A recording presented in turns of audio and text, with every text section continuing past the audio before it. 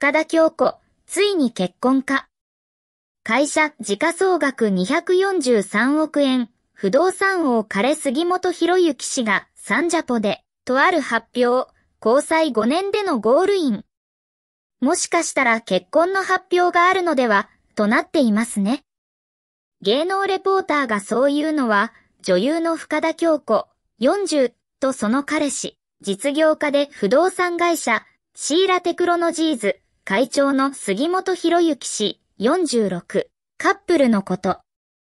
2018年に出会い、同年の冬頃から交際を始めたという両者は、もうすぐ交際5年になる。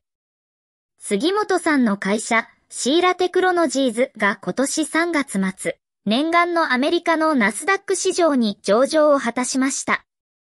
その際、杉本氏自身が X、ツイッターで時価総額243億円という評価をいただきましたと報告。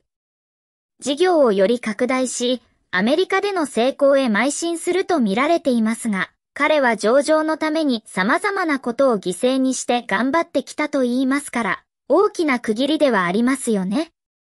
そんな杉本さんが9月29日までに X にとある発表がありまして、サンジャポさんに出演させていただくことになりました。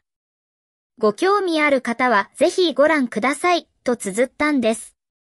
折しも深田さんの主演ドラマも終わったばかり。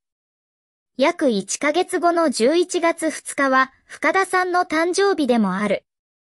様々なことがあったタイミングとも言えそうですよ、全道。